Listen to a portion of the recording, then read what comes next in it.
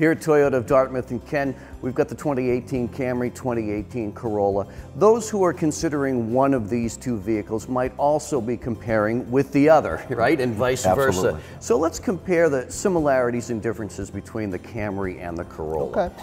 As far as the similarities, the most exciting new thing that Toyota offers on all of their vehicles now is the Toyota Safety Sense. Right. Toyota Safety Sense includes things like radar cruise control, lane departure alert, pre-collision system, pedestrian detection system, um, automatic high beam. So there's a lot of safety features that uh, people are really starting to want. Absolutely. And so both vehicles offer the Toyota safety They sense. do.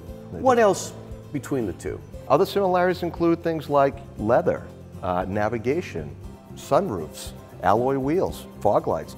There are things that you can get in every car, every trim level, pretty much. Right. All right, so how about some differences? Obviously, the first one is size. The Corolla's a little smaller. It is, it is. If you're looking for great, reliable transportation, great gas mileage, comfortable, easy on the wallet, Corolla's the car you're going to look at. Yep, lower base starting price. Exactly. If you're looking for something, you know, under eh, under the twenty thousand dollar range, you're going to want to look at a Corolla. But it's still big enough to seat five adults Absolutely, comfortably. absolutely. And again, it's it's comfortable, it's quiet, it's again it has that Toyota reliability. Um, you really can't go wrong in, in any of these vehicles that you choose. Right. Well, let's compare the two engines because Okay. obviously the Camry has a little more powerful engine. Absolutely. So they both have a four-cylinder motor. Yep. The Corolla has the 1.8 liter uh, four-cylinder, whereas the Camry has a 2.5.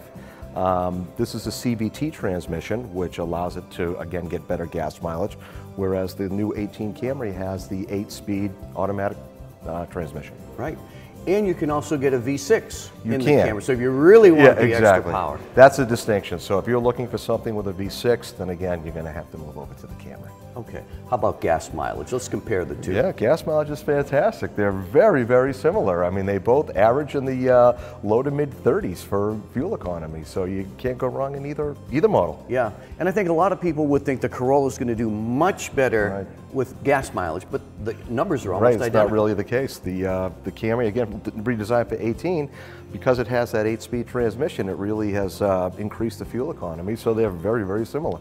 And there are some features available on the Camry, of course, that aren't available on the Corolla. Right. Things like heads-up display, which is uh, just Nice. a really yeah, it's a really cool feature. So it actually shows you on on your window, Win- windshield, on yeah. your windshield, uh, the speed that you're traveling in. Uh, if you have your navigation going, it'll display uh, turn-by-turn directions. It's uh, you know again, it's just another safety feature to allow you to not have to look down at a screen. Exactly. What else? Um, other things are uh, blind spot monitor with rear cross traffic alert. So again, when you're backing up and um, there's somebody coming from either side of you, it will actually warn you that somebody's coming.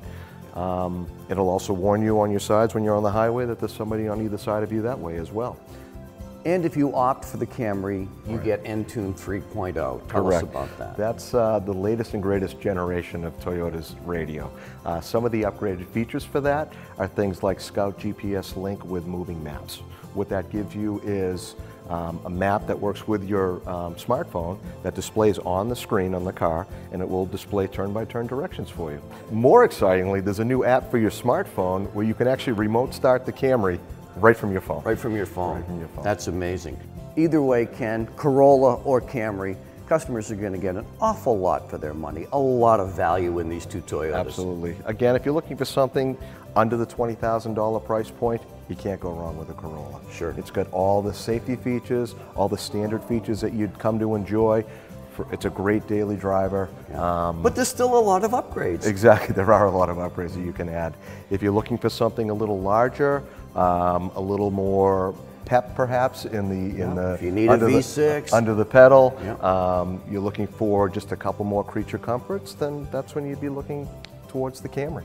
So, best uh, recommendation, come on into Toyota of Dartmouth. Take them both out for a test drive. That's really what you need to do. You really need to come in, drive them both, um, and then decide for yourself which one works best for you. The rest will be easy.